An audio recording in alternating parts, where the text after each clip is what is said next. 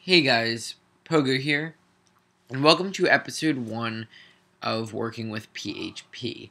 In this uh, series, we're going to learn how to use PHP to make a dynamic website. We'll take a look at a lot of different uh, parts and a lot of different uses of PHP, and basically we'll end up making a simple website with some dynamic content using PHP. Now, PHP is a programming language, but it runs on the web. The way that PHP works is you embed your PHP code in an HTML file. When you go to load the file from your client, if you go to, you know, the website example.com, the server that's hosting the website will uh, open up your the file you're trying to get your index.php or whatever. It will run all the PHP. The PHP will then emit HTML, and the return page that the user sees is completely in HTML. And I'm going to show you exactly what that looks like uh, now. So first, I'm using PHP Storm because uh, you know it's obviously optimized for PHP and web development. Um, if you have IntelliJ, it you can I think if it doesn't have PHP built in, there's a nice plugin you can grab. Um, to use it in IntelliJ, or otherwise you really could just use a text editor, but I like having the autocomplete and, you know, tabbing and all that nice stuff. Now, once you're in PHP Storm, you're going to need to set up PHP. If you are going to be doing all of your work on a web server, then it either has PHP installed or you can just use apt-get to grab PHP. If you're doing it on a computer, your Mac computer or your Windows computer, you'll want to find a binary that works. So if you go on Google and type in um, PHP binary Mac or Windows, you should be able to find it. If you can't, I'd be happy to make a video showing exactly how to do it on Mac, uh, Windows, or both. One really quick thing to note is that once you have PHP installed, you can open up the settings in either PHP Storm or IntelliJ. Uh, if you head over to uh, PHP right here, you can then uh, set up your language level and your interpreter. Now, I have two PHPs installed. One of them is in USR bin but it doesn't actually work. I have one in USR local PHP 5 bin. It says it's not installed, but this is the one that works for me. So however you get yours to set up uh, is what you're going to want to do. But I have configured to use that PHP interpreter so that I can test all of my PHP code. Alright, so let's go ahead and get started. We're going to create a new PHP file. You'll notice that the file extension is PHP, not HTML. A PHP file is the exact same as an HTML file, but it can it contains possibly PHP. If you embed PHP in an HTML file, it will, I believe, be ignored, but in a PHP file, it will know to look for it.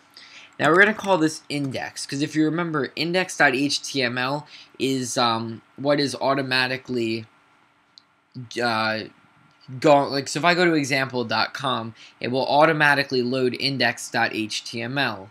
Uh, that's the index page. If you use index.php, it works the exact same way. So we're going to go ahead and delete uh, the stuff that it gives us because remember this is uh, an HTML document. So let's do our doc type. Hope I did that right. Uh, and then we're going to have HTML. Inside of that, we're going to have our head, and we're also going to have our body. Alright, so uh, in the head, we don't really need to do anything. I'll just go ahead and give it a title, and we're going to call it My PHP Website. Eventually, we'll come up with like a little project to do, but for the beginning, when we're just learning the language itself, um, we'll just use this example page. Now inside of the body, this is where I want to uh, do everything. So what I can do, I can put regular HTML in here if I want. Like I could write P paragraph, uh, this is some text, and I'll go ahead and put in a line break. And that's all well and good. That works just fine. But now let's say that I want to put some PHP in. PHP is great for dynamic content, especially with databases, and I can show that to you. You can link a MySQL database and pull information from it. Um, but let's say that we want to do something dynamically with PHP. The way you do this is you start off with your regular old opening tag, but what you put inside of here is question mark PHP then you're going to end it with question mark closing tag. So it looks a bit weird, but that is PHP, and everything inside of here will evaluate to be PHP code. Now the first thing that we're going to use is the echo function or command. It's basically a function, but it behaves a little, a little bit differently. Uh, if you type in the word echo, you can then follow it by uh, a string and it will basically echo out that string. Uh, in PHP, if you want to denote a string, you can either use single quotes or double quotes. They both work the same except for one minor difference that we'll get to probably in the next video. But if I can go ahead and I can echo out the word hello. Now you'll notice this doesn't look anything like HTML. There's no opening and closing tags or anything. It looks more like a language, and if I were to put hello in parentheses, which I most certainly can do, then it looks a lot like, I don't know, Java or, or a C-like language. It's, um, you know, it's, it's a programming language. It's not a markup language like HTML is. But let's see what happens here. Let's see what exactly this will do. So we'll go ahead and view this in Safari. And it should work. PHP should be set up correctly. And we'll see if this loads.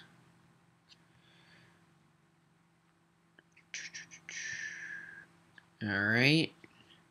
Okay, so uh, Safari is not responding, but you can see that it says this is some text. There's a line break, and then it says hello. So obviously that kind of strange looking PHP code evaluated, there we go, evaluated to be the word hello. So now let's take a look at the source code here. Let's see what Safari got for its source. And if we go ahead and take a look, we can see, I'll make this a little bit bigger, right there. Um, in our body, we had this is some text, uh, line break, and then we have the word hello. Now, how did this happen? If we look at our code, we have these like PHP um, bracket things, opening and closing tags. We have this echo command, but none of that's there. It's just the word hello. Remember, PHP is evaluated by the server. So PHP Storm is a built-in web server. So when I requested, when I said I want to see index.php, it first evaluated all of this PHP code, which echoed out the word hello. It, it printed out the word hello. And then uh, it displayed it with the PHP evaluated.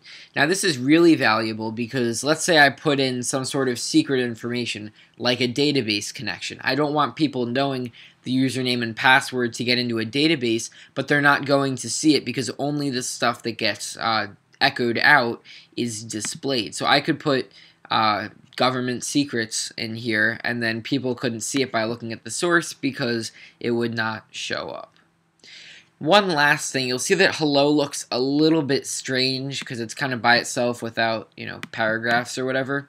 Remember that PHP evaluates to become HTML, so we can just put hello inside of P brackets. We can put it inside of paragraph brackets, and if I reload this, then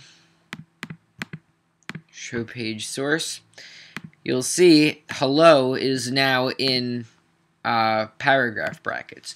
Likewise, if I wanted to make this a title, you don't need any sort of fancy PHP. I just surround it in H1 brackets, and you'll see that it's now a title because it echoes it out in H1. So anything that comes out of PHP is HTML, but you can have, you know, uh, dynamic stuff, parsing variables, all of that great stuff. But in the end, PHP becomes HTML, and it's displayed just like regular old HTML.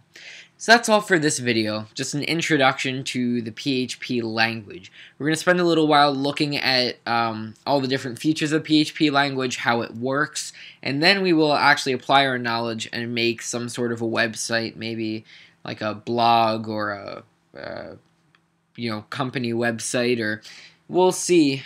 We'll see what we're going to do, but we'll make some sort of interesting project. So as always, subscribe if you want to see more, comment with what you want to learn, if you like this video, click the like button, and I'll see you guys soon with some more PHP and coding videos. Bye for now.